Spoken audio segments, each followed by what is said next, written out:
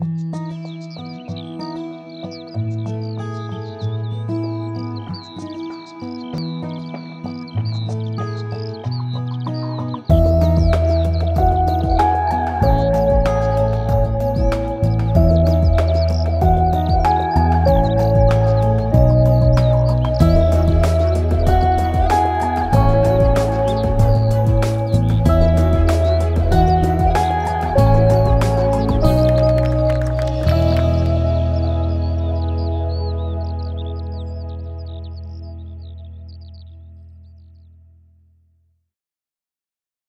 Good afternoon. It's so lovely to see like so many people that have turned up to this event. Um, so myself, I'm Olivia, and this is Ruby.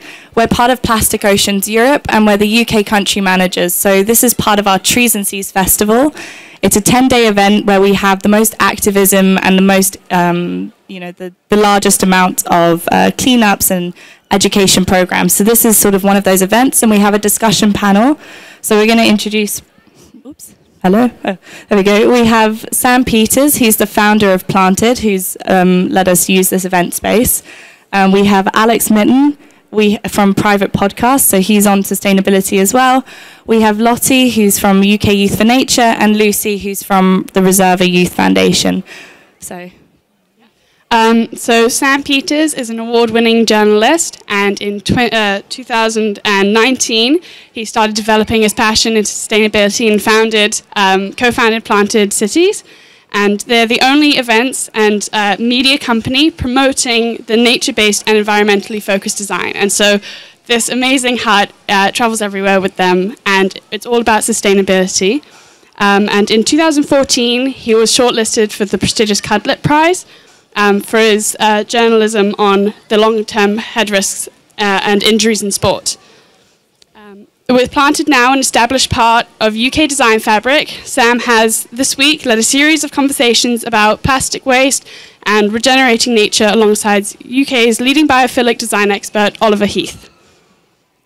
Um, so we have Alex, who's next. So he spent nearly a decade talking nonsense on TV, but he's in more recent years decided to change the discussion towards sustainability and how we can tackle that. So he's a co-host of the podcast Private Parts with over 1.5 monthly listeners. And his hard earned platforms on social media, he's very vocal about climate issues and he's passionate about discovering the solutions, which are some of what we're going to discuss today. Alongside this, he works as head of brand partnerships with Jukebox PR, and his focus has turned to connecting brands into the music world. So he's keen to implement and discuss innovation and methods to make the event industry more planet friendly. Next, we have Lottie, and Lottie is a voluntary organising member for the UK Youth for Nature, which is the UK's leading youth led network calling on the politicians and governments of the UK to take urgent action and tackle the, the loss of nature. Outside of her voluntary position, Lottie is also a research assistant out of the University of Southampton's Sustainability Implementation Group, and she focuses on researching options for nature based offsetting in the Solent region. And so for our last panelist today, we have Lucy Houliston, who's a National Geographic explorer, a digital content producer, and a zoologist with a passion for weird wildlife. As a member of Reserva, the Youth Land Trust Youth Council and Board of Directors, she is working to empower fellow young people in biodiversity conservation and assist in the creation of a global network of youth-funded nature reserves.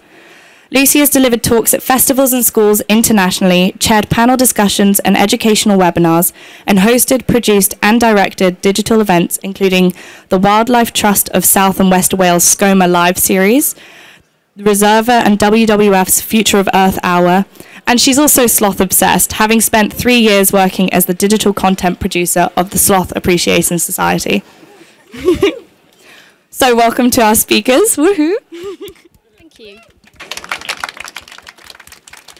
Um, so we're actually going to jump straight in. This is sort of a question for uh, Sam and Lottie. Obviously, you two work in eco cities and biodiversity offsetting, and so we're wondering sort of where you see the future of it going and how we're actually implementing it, as well as um, sort of the uh, what's the word? You know the um,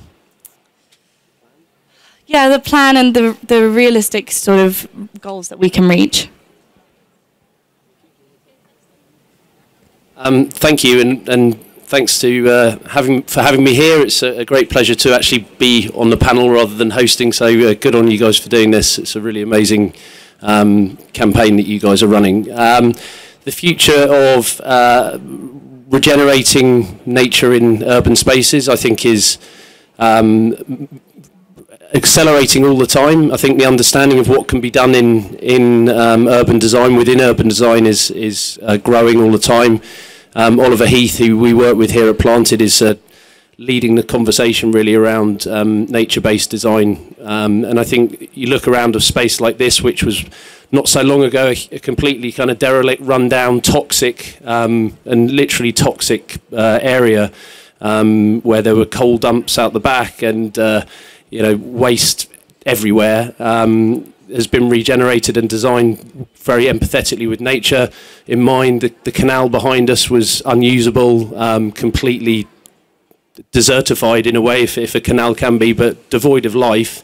Um, you've got the London Wildlife Trust sitting behind us, Camley Street uh, Park, which is just a, a wonderful haven for nature. And I think what we're realizing now, actually, that in many ways urban spaces are havens for nature, even more so than when you go into the countryside. A lot of the time, you see these kind of desolate, uh, over farmed, completely kind of again, desertified um, spaces which are completely devoid of biodiversity um, because they've been completely industrial, industrially farmed to within an inch of their life. Um, often using chemical inputs, and um, you know, the, so so cities in many ways are, are, becoming kind of safe space for nature, which is you know kind of crazy in a way. But I think once the more we get our heads around that, the more designers, architects, uh, urban planners, um, government need to really realise that we've got an amazing opportunity. And uh, in fact, a good friend of mine, Paul de Zwart, who's sitting in the audience now, once said um, he's a founder of a great company called Another Country, who are enormously sustainable and, and empathetic with the way that they deal with, with wood and woodlands. But he once said urban to me, and it, it chimed that um, urban spaces and cities shouldn't be places that are designed for us to escape from. They should be de designed for us to stay here. And, and nature is a is, is a thing that people need and require in their lives for, for mental and health, uh, physical health reasons. So I think I'm optimistic about the future on that front. Hi everyone. So um, I think what you said there about like regeneration is accelerating is very true. But we need to consider that when we are doing regeneration, we need to make sure that we're doing it correctly so that when we're regenerating spaces, we're not risking the biodiversity that's already there or we're not changing the landscape in a negative way. Because sometimes when you know you get the ball rolling, we're seeing these regeneration projects, but they need to be done in the correct way. Otherwise, we could end up having more of a negative impact than we would have. Um, so, for example, one thing I've been researching is tree planting projects. And when you're doing tree planting projects, if you're not choosing the right land in which to plant those trees, you can actually have a massive negative effect on biodiversity.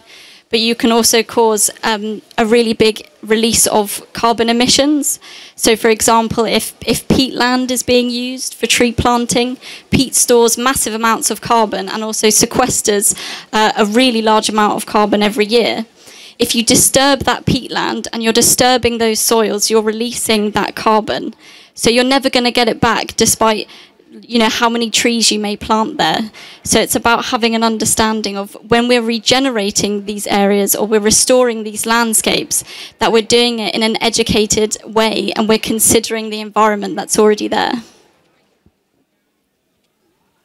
um, that's really really great. So I completely understand because tree planting is also becoming a much more popular sort of way to tackle climate change. But there's obviously the ways that you have to do it correctly as well.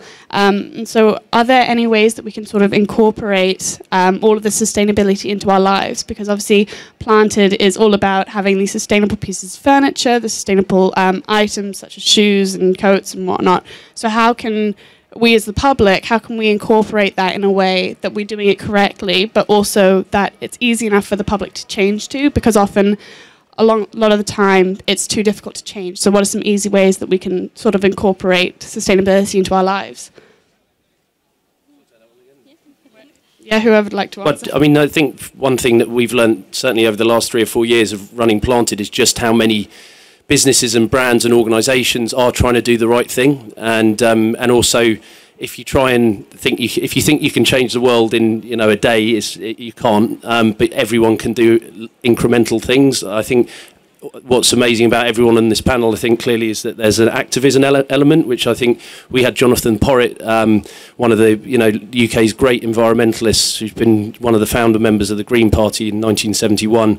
Uh, he was on the panel. Uh, interviewed him a couple of days ago on here, and he was saying, you know, there is reason to be really optimistic about the future, even though we all recognise that there's massive, massive problems that need to be overcome, but activism, challenge. Um, your local po- uh, politician, engage with politics, don't disengage with politics, recognise that we can all get involved in that front, and also absolutely recognise that every pound you have in your pocket is an opportunity to affect change. You know, choose the businesses that are trying to do the right thing. Look at are they B Corp certified? Are they um, serious about sustainability, or are they you know just try and pick beneath the surface of the kind of corporate veneer and try and recognise what greenwashing is? It's a real thing organisations put massive amounts of money into spinning themselves as green organisations, whereas others maybe don't talk so much about it, but are doing the right thing. You know, just think about where you spend your pound, spend it locally if you can, um, and spend it with organisations that are really serious about protecting the environment. And there's lots out there. Well, I was going to say one thing as well is obviously, Alex, you have your podcast and you've invited Yeah. sustainability um, experts onto that. So I don't know if that's obviously one way you can get massively involved is sharing, you know, everybody's views. So I don't know what you've you've done on that. If you'd like to share. Yeah, I mean, I'll, start off by saying um, I feel slightly underqualified to be uh, to be talking on the panel with these guys, but um, yeah, no, I was I was very lucky to be given like a, a small platform to to be able to talk about these things. Um, and I guess one of the biggest barriers and one of the issues I found just personally is as soon as you start to notice these issues and speak up about them, unless you're evangelical and you live a completely sustainable life, it's really weird. People just want to try and take you down. So there's this really odd, like, divisive culture which I, I see across kind of every sector, and I, I it's something that seems to be kind of conditioned into us. And so, you know, I would I would say something about sustainability, for example, in a post, and then someone would see that I've been on holiday, and I'd end up getting into like you know a two-hour argument. Um, so it's it's kind of like trying to work out how we get rid of that that division. Um, and and I'm always like, you know, it's much better if you've got a million people who are making small change rather than one person who's evangelical. Um, so yeah, I guess it's for, for me. It's like coming at it. I, I'm a bit of an idiot in this space, really. I don't know too much, but I'm just trying to learn as much as I can, uh, trying to implement that in my own life, um, and and then just discuss it with people who do know, basically. I know Lucy, you also have obviously you're into digital creation, and you know obviously actually quite a few of you have a background in in media and design and stuff like that. But you know that's one way that we can really sort of share the views of people, and you can you can get a voice on platforms, especially in youth advocacy, because both Lottie and Lucy are youth advocates. So you know I don't know how you found that, and if you could share how people can get started in it and anything. Yeah, I think, I mean, one of the things that surprised me since I started, you know, doing uh, campaigning or, you know, taking action for biodiversity and, and conservation is people in my family and, and friends who weren't particularly interested in the natural world or the environment, environmental issues beforehand are 100% behind what I'm doing and they're sharing stuff. And, and that means so much you know. People connect with stories and they connect with personal stories. And if you've got something that you care about you know just the the power of kind of words to to say you know this is an issue I care about it, I'm doing something about it. Tell that story in the, in the right way in a personal way. You can get people who you never thought would engage with it to engage with it. And that's the power of social media and media and things like podcasts. You know that's a it's a personal story and and that's kind of what all of this is based on right is we're we're sharing our experiences. Um, so that's what I would say. And I completely agree about the activism thing people are they're always trying to kind of pick holes but in the world that we live in now we we can't live a perfect life there's always going to be something you know I'm a vegan, for example, but I, you know, still buy stuff that's flown across the world that's wrapped in plastic. You know, you can go on and say, I'm helping the planet. It, you just need to focus on on the positives. We can't. None of us can live perfect lives. So all of those small steps really make a difference. I think there's two brilliant points actually, and then really important points. One is you're absolutely right. It is literally impossible to lead, lead a perfect life when it comes to uh, sustainable lifestyle, sustainable living, trying to protect the planet. You know, the the supply chains just aren't there. And Alex made a, a good point. You know, and I, I feel for someone who's got a high profile, who you know, it's easy to to take a pop at people, you know, and, and, anybody who claims to be living a perfect lifestyle is just, they're lying. It's impossible. But there are some people that are trying harder than others, and that's definitely for sure. And they're the people we should try and link up with. And I think, you know, just to your point about social media, I completely agree as well. The power is in the sto- hands of the storyteller.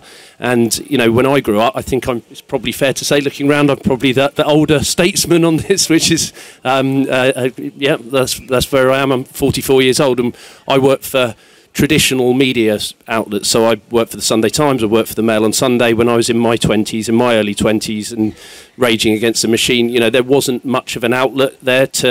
Um, to, to, to tell stories, you know, if the if the national media didn't pick it up, if the traditional media didn't pick it up, it didn't get out there, and that is something that this the next generation, really, you guys and a lot of the people in the audience have a power that wasn't there with when I was in my 20s, and that is social media.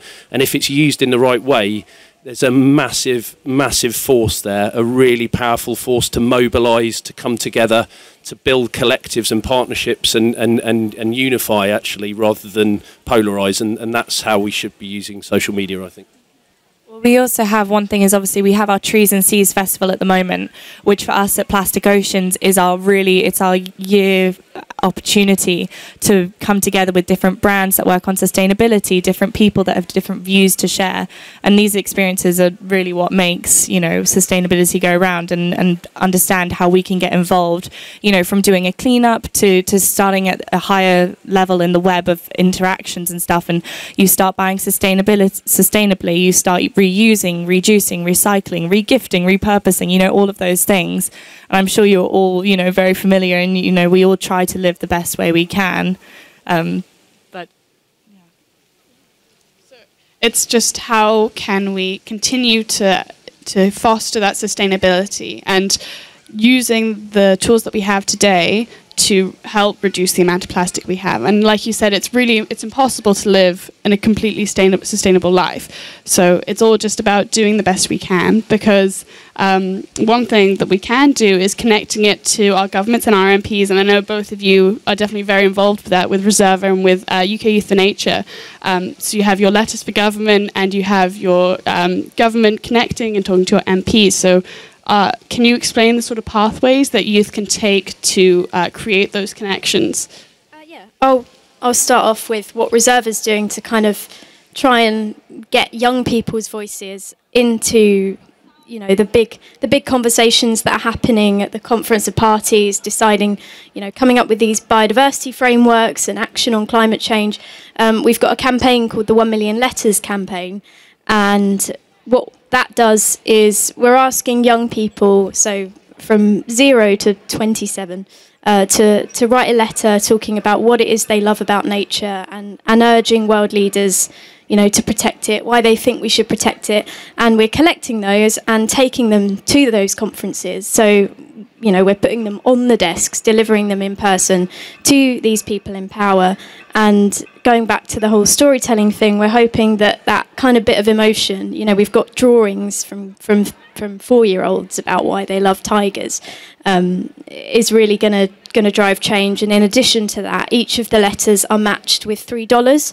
So um, what that equates to at the moment in terms of our first uh, reserve project, which we're currently working to expand, uh, is that $3, that one letter, raises enough money to protect a, roughly a classroom size patch of rainforest. So the kids are always, you know, they, they listen to talks and they hear about these issues and they're like, well, what can I do?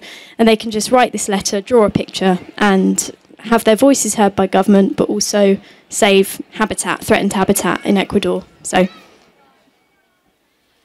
So um, the organisation that I volunteer with is a UK-based organisation, and um, our aim is to persuade government to make better decisions to protect nature in the UK.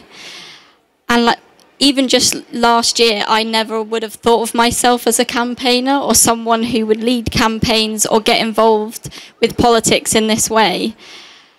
And I just had to take the first step. And I think the first step is finding organisations where you've got like minded people you can work with.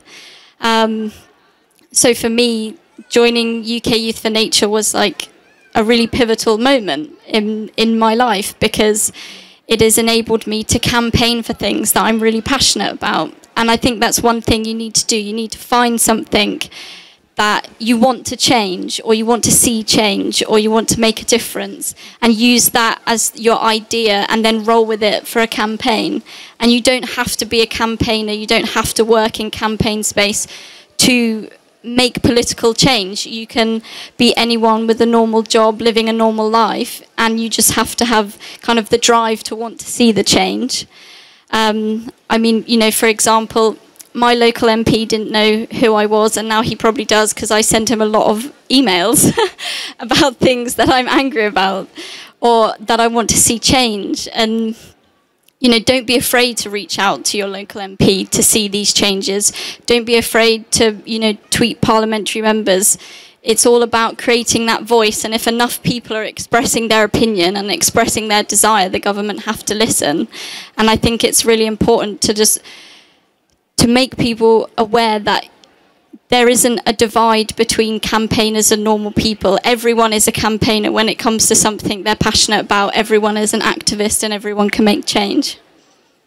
I had a question. Um, what do you think is the best way to make them listen? Because the most frustrating thing I find is there's amazing people like yourselves all doing so much hard work, and then I just read yesterday they've passed a budget that's basically going to open up all of this protected land for development, and it just I'm just like what it's just nonsensical. It's like almost suicidal. I don't get it. So like, what can we do as individuals or as a collective to kind of, you know, make them actually listen? Um, so a simple thing you can do is simply sign can get their petitions. addresses. Can we go knock Yeah, on their yeah. door?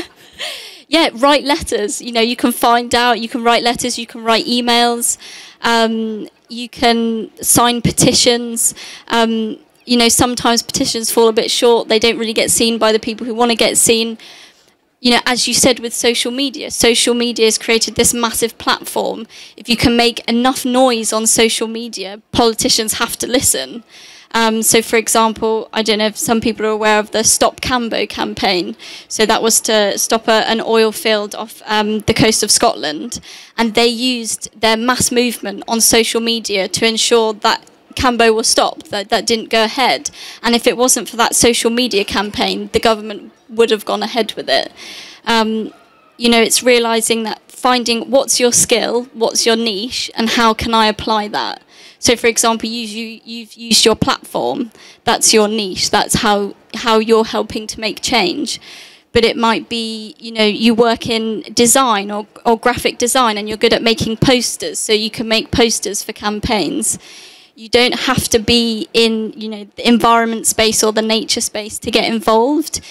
Everyone has their skills. They just need to have the guidance to apply it to those campaigns or apply it to the situation Well, actually, one thing I think as well, touching on that, is that it is very difficult to know where to get started in biodiversity and, and climate change and how we can actually help tackle it because often it's so overwhelming. There's just no place to start. And we can do we do cleanups, you can do activism and education, but sort of your eco cities, right, Sam?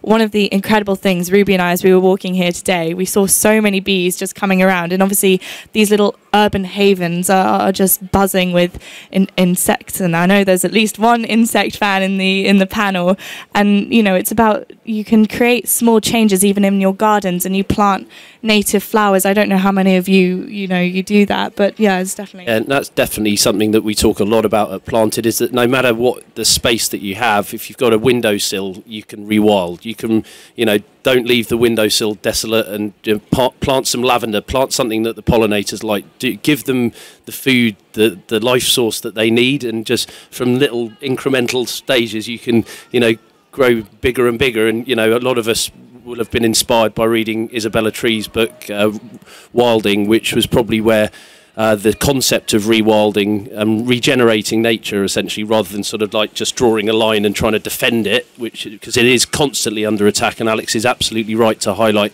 this absolutely disgraceful decision to renege on the Elms um, promise which was the environmental land management scheme which was uh, one of the dare I say it, few benefits potentially of Brexit, but it's it was you know a, a move away from the common agricultural policy to actually subsidise farmers and big landowners rather than just for owning land to actually subsidise them for uh, enabling nature and for introducing biodiversity and all those good things which need to happen to rebalance the planet, which has got so out of kilter. But Isabella Tree's book was utterly inspiring to me. But you know, talk, when you're talking about several hectares of land, that's quite hard for most of us to get our heads around, and it's kind of untouchable. But when you bring it down to a, a micro level rather than that macro level, all of us can rewild in our own way. Like as I say, use your window sills, use any little space that you have, encourage your local authorities, do all the things that all the panelists have just talked about, and, and just engage. And once you've engaged your mind a little bit,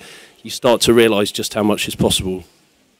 Actually, just yesterday, I met um, this adorable little boy and his father um, at our cleanup, and um, we were talking about sustainability. And they actually carry around this little bottle, and in that bottle they carry sugar water because they see bees on the ground.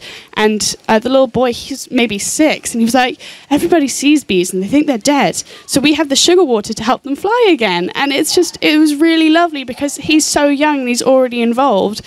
And it's just incredible. Just such a small thing can make a huge difference because without the little boy with the sugar water, those bees would be left on the floor. So it's just these tiny actions that are so heartwarming that we can all take part in.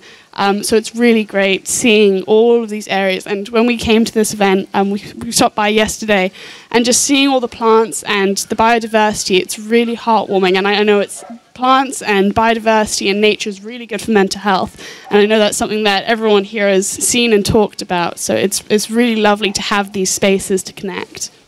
Well, there's also um, a new documentary that's just come out on Netflix called The Biggest Little Farm. I don't know if anybody's heard or seen it. I'm yet to watch it, so no spoilers, please. Um, but it focuses on rewilding and changing sort of the social aspects around it. So it's about this couple that have a farm, and it's a similar story to Knepp Rewilding Project that Isabella Tree is obviously a part of. And to how they've built new ecosystems and how they're bringing it back and they're working on finding the balance. And that's one thing that I'm sure you've had to struggle with when you're when you're recreating any new urban spaces is just figuring out how to make that balance. But I saw that documentary. It was it, it was amazing. So emotional. Also it looks like a hell of a lot of work. Like but when you when you get it right it just looks so rewarding another documentary I watched recently was uh, the year the world changed, I think, which was on Apple with, with David Attenborough, which looked at what the pandemic did um, over over a year period, and it kind of followed different ecosystems and you know parts of nature and the impact that us just stopping being annoying humans for like you know a small space of time actually you know nature bounced back so much which kind of just made me think like we do still have you know an amazing ability to to try and turn this around we just need to slow down a little bit and kind of stop this mad neurotic lives that we live. Um, yeah. I touched on it before. You know, I think it's easy to look at kind of wastelands and uh, trashed uh, urban spaces which have been so badly designed and think like nature can never come back. But it's definitely evident here, and I would urge anybody who hasn't been to Camley Street Garden with London Wildlife Trust behind, you know, I can't stress enough for those of you who aren't old enough to remember just how grim this area was when when I was growing up. It was off limits, um, uh, basically. But it's now just the most vibrant canal living space where nature has it's been rewilded back there, and that was done in uh, about 1983, I think, and it's just flourishing. And nature comes back really hard if it's given a chance.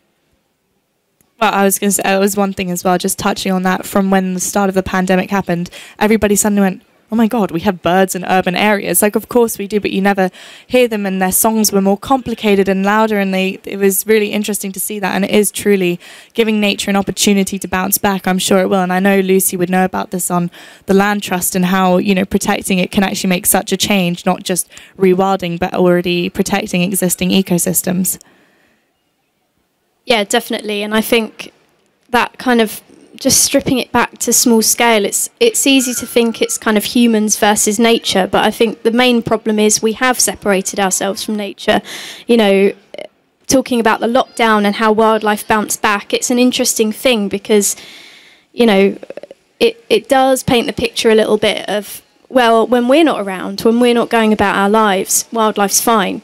But the reality is, we need to learn to change, to live alongside it, to live as part of it. And talking about the gardens, you know, I challenge you all to go home and just like forget about tidy gardens and just leave the garden to grow wild, you know, especially in spring, summertime.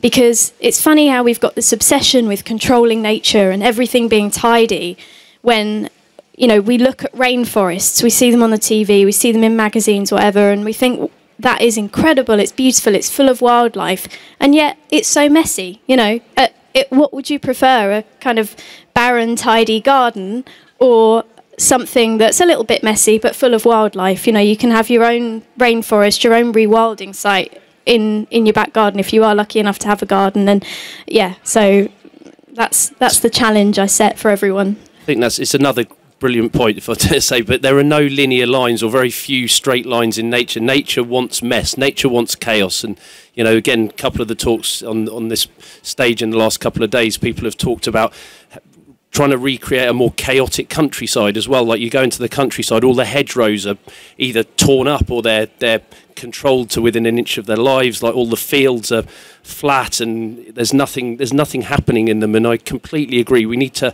kind of unpick our entrenched kind of Victorian ideal or mindset, which is all about control and order and suppression. It's very British, it's very regimented, and it's yeah. like what the empire was built on, but actually it's not what the planet needs or wants. And actually, we by letting it go, we'll all relax a little bit. Yeah, and I think uh, so many times people have people have asked me, how do we get young people engaged in nature? And it's an impossible question to answer because if we knew we'd be doing it. You know, it's really tricky. But I think an important thing is kids being able to experience nature. And I think having something that's wild looking and messy, like that's an adventure to go out and explore that. And there's so much more to see. So I think it will also help connect the younger generation, the next generation, with wildlife and make them care about it a bit more. Well, that's something that I was going to say Lottie is super into for UK Youth for Nature. So um, yeah, so I mean, 10% of children in the UK play outside. The other 90% have never played in a wild space before, which is a shocking statistic. I mean, even 30 years ago, it was 40% of children had played outside in a wild space, and now it's only 10. So we need to be able to create these pathways so that children have access to, to wild spaces. And I think in an urban setting, you have even more scope to do this. Um, you know, because you've got a bit of a, a, blank canvas. You have spaces where you can rewild in urban areas, and people live so close to these urban areas. It's just about creating the access points. You know, having education in schools. So. Um, one of our other members at, at, UK Youth for Nature has worked very hard to campaign for um, the establishment of a natural history GCSE, and this will be going into all schools in 2025, which is really important because it will provide education for all children, no matter their background, no matter where they come from. It will be in every school. But it's not just about education. In order to want to protect something, you need to have access to it. You need to have an understanding of of that space that you want to protect. So it needs, you know, more government funding is needed to allow kids, especially in urban environments, to have access to nature. And if, if anyone wants to understand more about access to nature or the, the appalling lack of access to nature that we actually have in the UK and the lack of access that we have to um, green sites to, to rivers. I urge you to read Nick Hayes' book, which is called The Book of Trespass, and that is a brilliant historical unpicking of how we've lost public space and how we've lost public access. And, you know, I'm a big believer in. Uh, um, Dostoevsky said, I think you can't love what you don't know. And I think, unfortunately, now our young people have been sort of, it's been this like creeping effect of stealing access. And we have a very distorted land ownership and unusual way of uh, um, controlling again people's access to nature. And again, that's if you want to get involved in some really important campaigns, the work that Nick Hayes is doing with Guy Shrubsole around public access to nature is really worth looking at. Well, we've also had um, almost sort of a social reset from previous generations to ours. What we find an amazing level of biodiversity is nowhere near what it used to be right? And our, parents, they tell us we go up to the countryside and we go, oh my God, you can hear all the birds. And they go, this is nothing. We used to hear whippoorwills at night and you used to hear all of the birds literally at all hours. And it's, it's just changed massively. And you have this sort of social reset and it's really difficult to try figure out how you can almost get it back to the level that we've, we've never known, you know, we've never experienced. So. George Monbiot calls it shifting baselines, doesn't it? So every generation just thinks it's normal what they're experiencing, but actually, you know, you're absolutely right. The, and I, you know, a lot of it's down to industrialised farming, and a lot of it's down to the way we mismanage our land, and you know, that's it's just it's a really good point that you've made. Because I also know as kids, we were really, really lucky. We had um, this awesome garden and we had this brick footpath with a whole bunch of insects underneath. And what we would do is we would pry up the bricks, which was a terrible idea because then it meant any time that our parents walked over the bricks, they would trip and fall because we'd like kind of left the bricks all hoggly poggly. But it was really great for us because it had so many insects under it. And I think that was definitely how we got started into zoology is that we had that first hands-on experience. And I used to bring snails and critters into the classroom and I get told off by the teachers because they're like ew gross. Um, but it was really exciting for us having that connection to nature. I think it's really important that kids get that connection first because it helps them understand just what they're going to be protecting in the future. Well, and I think actually that's part of what eco cities can do and what Planted is about is you you're creating new green spaces for kids to get that hands-on experience. You know, you can't appreciate it if you haven't ha- got to hold a spider in your hand. And so many people are, you know, oh, spiders are unclean or you don't want them in your house. And you know, if you bring these green spaces back into urban areas, you create urban forests the results would be, you know, amazing. I'm sure you've seen with your your company. So. Yeah, definitely, and I, mean that disconnect. I think uh, one of the guys on the on the panel made the, the, the comment about how we've disconnected from nature, and that's something planted. We talk about reconnecting people and spaces with nature, and uh, you know, it's it's happened again over a, per- a extended period of time, and that shifting baseline has changed all the time. Um, about we don't really realise how far apart we've come and uh, and how removed we are from from nature on a day to day basis. So yeah, find ways to engage children and and and encourage architects and designers to design spaces which are empathetic to nature. It's you know biophilic design is a really interesting concept, and um, I think when we met Oliver Heath for the first time.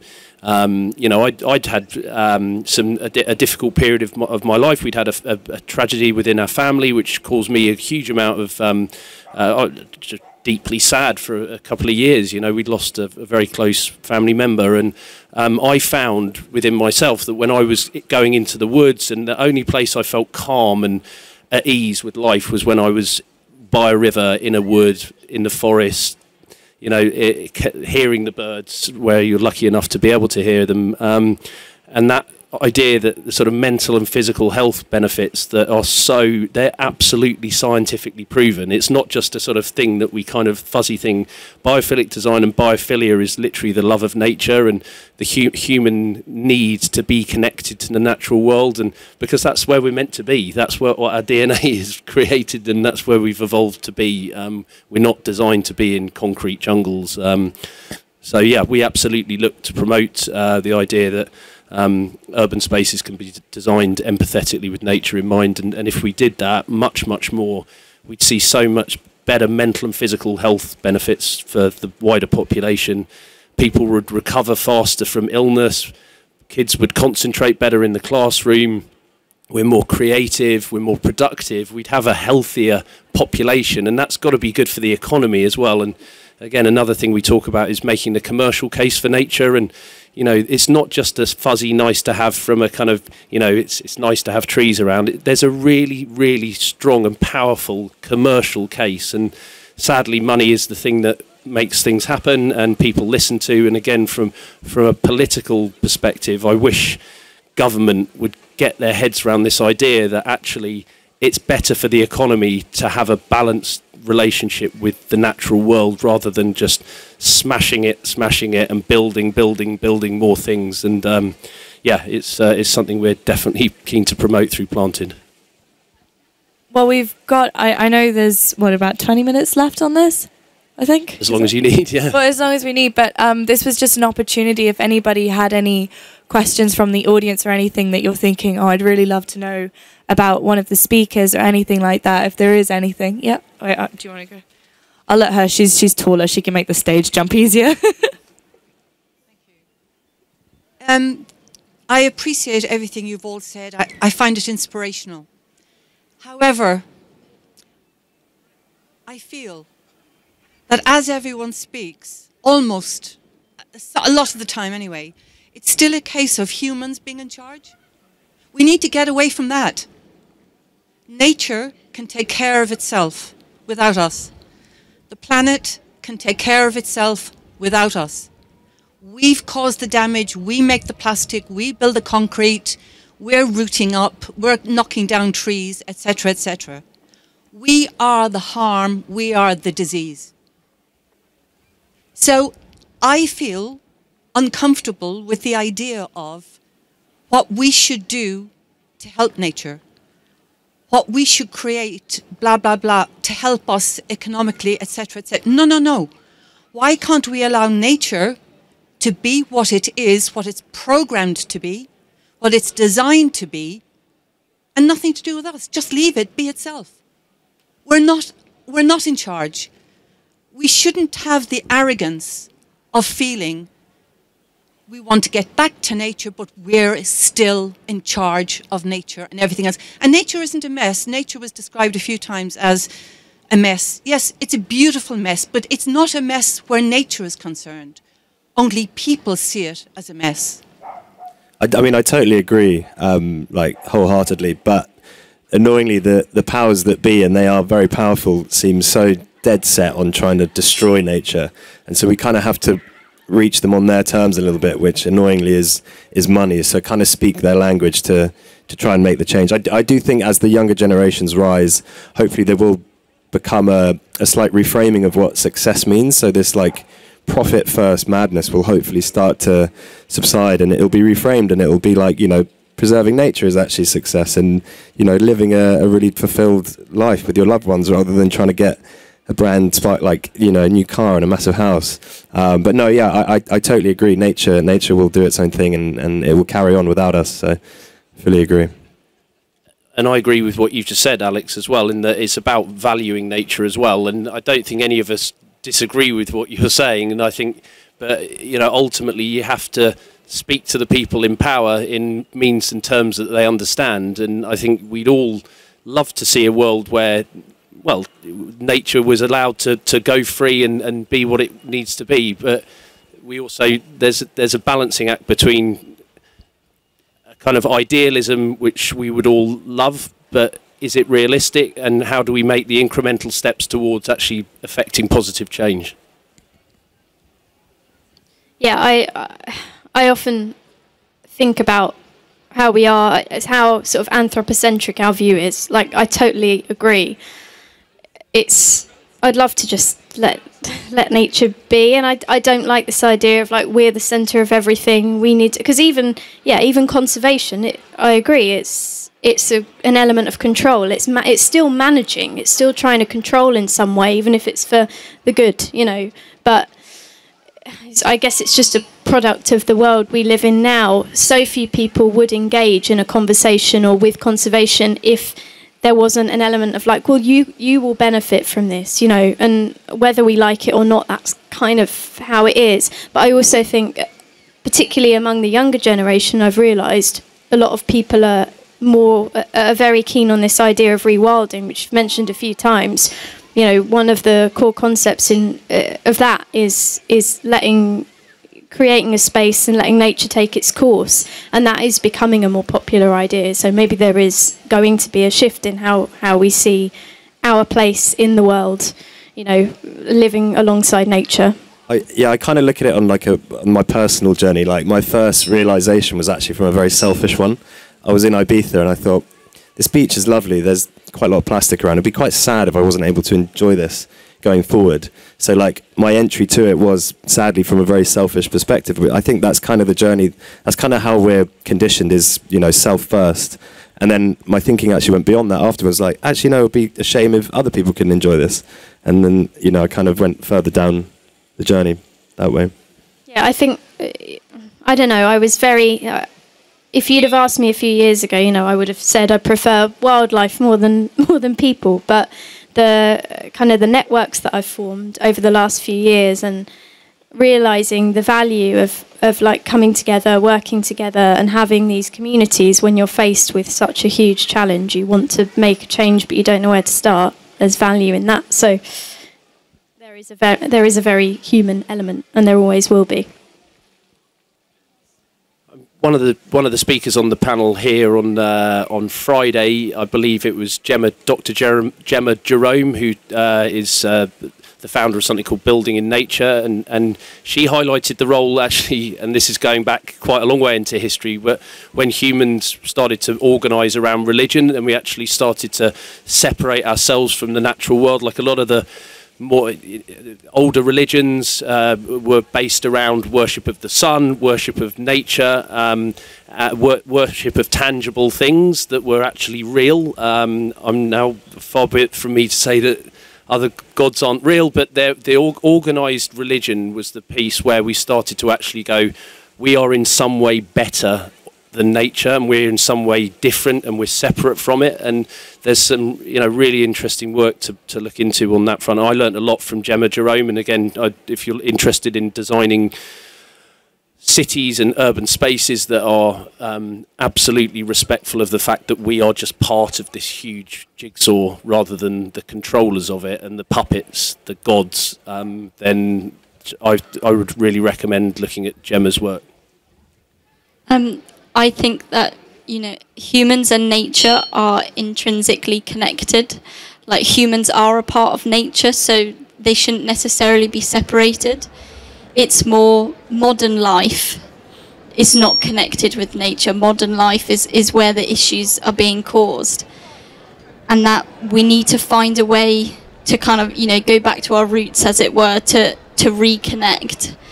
Um, and you know, changing this discourse that people don't belong in nature. That's that's not true. We we do belong, and but as you said, not at the center of it. It's we're we're a part of the bigger ecosystem, and that's the way we need to think. We don't need to think we're at the top and we need to control how the rest of the ecosystem functions. We need to learn how to function within the ecosystem, but also within modern society as well. I think, I think it's one thing that we hate doing as humans, admitting that maybe we were wrong. and like there was this amazing kind of like, you know, Garden of Eden paradise system that kind of existed, and we've gone, nah, we'll try and make our own, but actually it's not really working. So we need to go, let's try and give that one a go again. It was actually pretty good. Yeah, I exactly agree. Yeah. Um, I don't know if anybody else in the audience had any sort of questions either about anything else. Ruby, you are welcome to come back up as you're well. oh wait, no, you're not.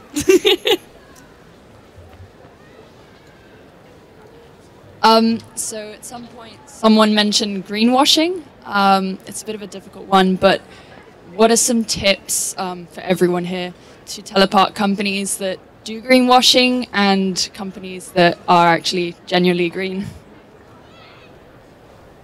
Uh, there's some really good certifications out there. I've mentioned B Corp, which I think is uh, a really progressive certification. It's incredibly hard to, to achieve, to attain B Corp certification. It's something that Planted we've been working on for about 18 months now, and it goes much deeper than just like your environmental impact, but it's about your societal impact, how you uh, treat your staff, how you your kind of um, top to toe assessment of the business, and uh, and how you kind of respect the planet essentially and respect people and planet over over profit, which is something Alex touched on quite rightly. Um, I think just just think think does this make sense? You know, does it make sense that uh, an oil company just because it's its uh, corporate colours are all in green that it's it's a green company? You know, so many companies use use colours just to to con people. Basically, you know, just because it says eco-conscious, eco-friendly product, ask what that actually means. Look at the ingredients. Look at where it's sourced. Look at where it's come from. Look at who's made it, um, and then just look at the packaging as well. We've looked at, um, we work with a company called FlexiHex here, who were one of the sponsors of the talks, who've created this incredible packaging, which is basically a replacement for um, bubble wrap. It's a, 100% recycled paper, which is 100% compostable, so, and it's reusable, so you can either repackage what you've sent your package in, or you can stick it in your compost bin and it goes into the soil. Like, just be smart and ask questions and challenge, and, and normally the answers are kind of there if you ask enough questions. Well, one other thing as well, I will get to in a second, is also when you come to events like this and you do hear from people that are in sustainability that have now sort of started to dedicate their lives and their work towards it, and you have other different partners at the things, and you can read all the boards and you go visit and you talk to people and you learn what it is that makes a company more sustainable um, and not just like a greenwash company. So I know there's a question there. Really, really simple question. Um, what's next for each of you in your world of sustainability? Um, so I'm currently studying with Olivia a zoology degree. Uh, so hopefully learning about more about wildlife is the first step. Um, I also am working on an education project funded by Nat Geo uh, to. It's all about the weird wildlife of the UK. It's going to be a series of live streams that are streamed to primary school classrooms across the UK, um, happening in the next year or two. And so, yeah, educating the next generation and enthusing them about the, the underappreciated, the, the unloved, and the odd animals that can be found right right here, right on their doorsteps, is is my next mission. And in terms of reserva, uh, we are currently working to expand our first reserve, which is the world's first youth-funded nature reserve up in the Chocó cloud forest in Ecuador. Uh, we're expanding that to uh, protect an area that's currently threatened by gold mining. So. Thank you. Um, so, in terms of my work with UK Youth for Nature, um, we'll be launching some campaigns in relation to COP15. Um, so COP26 kind of brought the attention to many people in the UK about the uh, the climate conference, but um, COP15 is the biodiversity conference, and it's usually overshadowed by climate change, even though it's still a um, an equally as serious issue. So um, I'll be working on on helping with campaigns around providing education and kind of a bit of myth busting around these conferences. Um, and and why we have them and, and what they're hoping to achieve. Um, and then for me personally, um, I'm currently interning as a research assistant um, looking at natural offsets. It's a really interesting area and an area in the UK that's only going to expand in the coming years. Um, so if, if like anyone's interested in, in talking about natural offsets here in the audience, I can literally talk about it for hours. So so please do come and talk to me. Um, I think yeah, directly after this, I'm going to go and find some MPs' addresses and go and kick their doors in. Um, no, I think really just from my side, it's just kind of continuing to learn and carry on the discussion uh, on on the platforms that I was sort of lucky to to be given. Um, but I, I just have this belief that like all humans are intrinsically good, and they kind of they deep down they know like you know these these big corporate bosses deep down you know they didn't start out evil. I think it's all about trying to keep this conversation going and, and, pull the veil back so that these people realize and, and make the right decisions. Um, so yeah, just, just kind of carrying on learning and, and, and carrying on the conversation really. I was going to mention Jacob Rees-Mogg when you said that, but I, I won't. I definitely won't. Um, that would be wrong. From Planted's perspective, uh, we're going to keep telling the story. We're going to keep um, trying to educate and inspire people through um, events such as these, bringing amazing people who've been on this panel together, uh, amazing companies like um, Enki and Bax Botanics and Goldfinger, who made this table, another country who I mentioned before out of the valley, um, SolCell, who've managed to power, power this um, event through solar energy, so it's an off grid event. Um, Dura Ocean Plastic, these chairs we're sitting on are made out of 100% recycled waste plastic from the sea and also we'll probably be going out for a fundraising, a crowdfunding funding um, to, to raise more uh, investment to try and grow these events and take them out around the country. We're running an event at um, Stourhead in association with the National Trust, which is on the Somerset Wiltshire border, which I'd love you all to come to, and also join our planted community at www.planted-community.co.uk. But we're going to keep keep telling the story, keep running events, and keep building our media profile. Um, well, if we don't have any more questions, I think we've just gone over sort of what we said we'd do. And we have, as we're talking about sustainability, we have a cleanup that we're doing along Regent's Canal. And it's actually with Tommy from Bamboo Brush. He's in the audience. You can give a wave. There you go. Um, so we're going to go do that. If, if, unless there's any other questions for anybody before we go? No? Well, there you go. So we'd just like to extend our thanks, obviously, to all the panelists and obviously to you guys too. It's amazing that you come out here and you're willing to listen and learn. And hopefully it's been thought provoking and you go home and you think, yeah, you know what, I can. I'm going to build my, my balcony and fill it with all these beautiful flowers. So that's what we hope you guys take away from this. And obviously, maybe also if you bring, if you've brought wellies. Uh, or any other shoes that you're happy to go get a bit mucky in down on the Thames. We've got all the kit to go clean up. Um, and yeah, we'll be meeting here in some 10 minutes. We're, we're going to change shoes. White shoes don't do so well. Um, but yeah. We just want to say a huge thank you to all of you for being here, but especially for Sam and Deb at Planted for this incredible event space and for giving us all the opportunities to talk about what we're really, really passionate about.